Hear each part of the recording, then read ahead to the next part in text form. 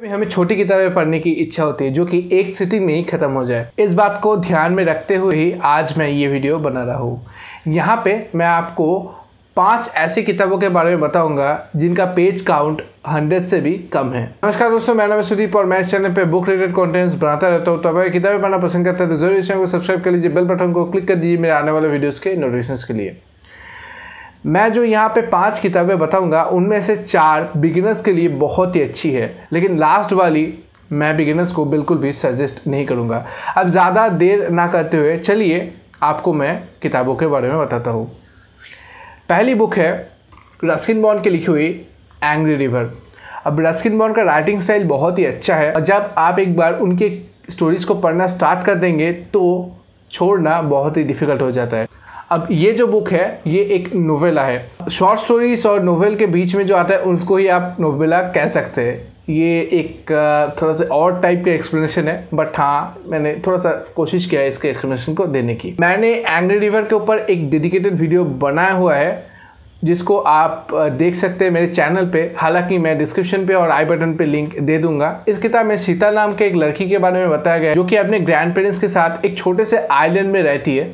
वहाँ पे अचानक से एक दिन बान आ जाता है और सीता का घर पूरा तहस नहस हो जाता है। फिर स्टोरी आगे बढ़ती है और आपको ये किताब खरीदना पड़ेगा स्टोरी को जानने के लिए। इस बुक का एमआरपी है नाइन्टी फाइव रुपीज़ और ये रूपा पब्लिशर्स के द्वारा पब्लिश की गई है।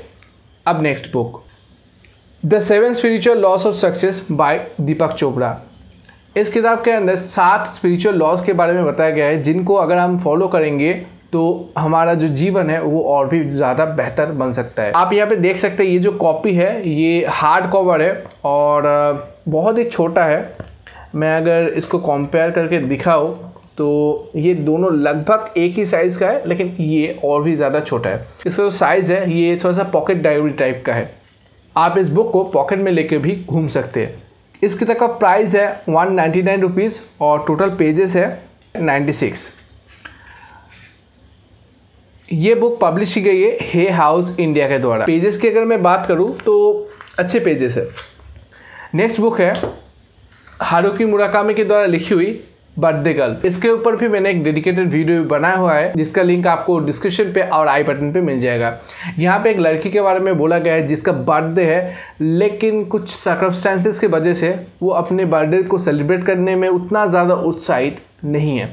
बहुत ही एक लाइट स्टोरी है और आपको इसको पढ़ के इंजॉय करना पड़ेगा। नेक्स्ट किताब मेरे पास फिजिकली अवेलेबल नहीं है क्योंकि ये मैंने किंडल पे पढ़ा था और उसका नाम है Who Moved My Cheese Who Moved My Cheese एक मेटाफोरिकल टाइप की स्टोरी है जहाँ पे हमें बताया गया है कि चेंजेस को अडाप्ट करना कितना ज़्यादा इंपॉर्टेंट है।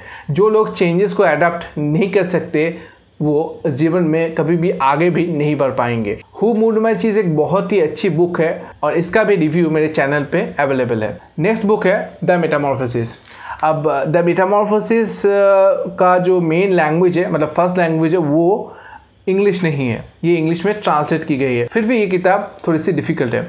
इसलिए कभी भी मैं बिगिनर्स के लिए सजेस्ट नहीं करूँगा। अब यहाँ पे टोटल पेजेस है सिक्सटी सिक्स द मेटापम्पोसिस की प्राइस है सेवेंटी फाइव रुपीज़ और ये ई बुक में भी अवेलेबल है। आप ई बुक से भी पढ़ सकते हैं, वहाँ पे थोड़ा सा प्राइस आपको शायद कम पड़ेगा। और ये पब्लिश की गई मैफेल प्रेस के द्वारा। फ्रांस, काफका का जीवन भी बहुत ही इंटरेस्टिंग है और मैंने इसके ऊपर भी एक वीडियो बनाया हुआ है। इस किताब के ऊपर भी आपको वीडियो मिल जाएगा मेरे चैनल पे और फ्रांस काफका के जीवन के ऊपर भी वीडियो मेरे चैनल पे मिल जाएगा। उस वीडियो पे ही मैंने डिस्कस किया है कि काफका एस्क क्या है। काफका का जो राइटिंग स्टाइल है, वो डिफरेंट है दूसरों से। इसीलिए उनके राइटिंग स्टाइल को ही एक नाम दिया गया है, जिसका नाम है काफका एस्क अब आपको मैंने उस वीडियो पर इस बारे में ज़्यादा जानकारी मिल जाएगा। आज की इस वीडियो में इतना ही था।